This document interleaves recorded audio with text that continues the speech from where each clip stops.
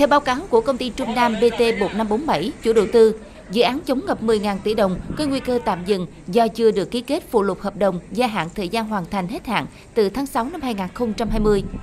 Chủ đầu tư dự án cho biết hợp đồng đầu tiên đến tháng 6 năm 2019 hết hạn. Sau đó dự án được gia hạn đến tháng 6 năm 2020. Này đã hết hạn do trước đó phải ngừng thi công hơn nửa năm. Một khi dự án bị dừng, muốn thi công trở lại phải mất hơn 5 tháng vì phải thực hiện nhiều thủ tục.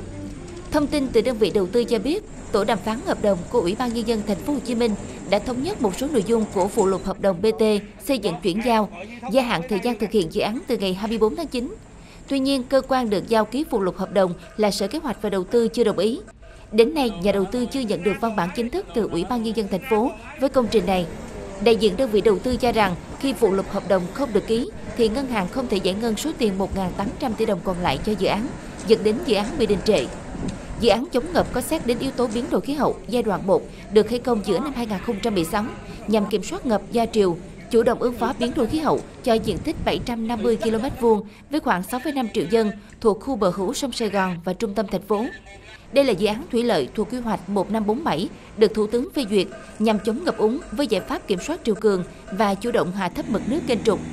Dự án có tổng mức đầu tư gần 10.000 tỷ đồng với quy mô 6 cống ngăn triều lớn, khẩu độ 40 đến 160 m là Bến Ghé, Tân Thuận, Phú Xuân, Mương Chuối, Cây Khô, Phú Định. Ngoài 6 cống khổng lồ thì dự án còn thực hiện 7,8 km đê kè ven sông Sài Gòn từ Vàm Thuật đến sông Kinh với các cống nhỏ khẩu độ dưới 10 m. Địa điểm xây dựng dự án thuộc địa bàn các quận 1, 4, 7, 8 và các huyện Nhà Bè, Bình Chánh.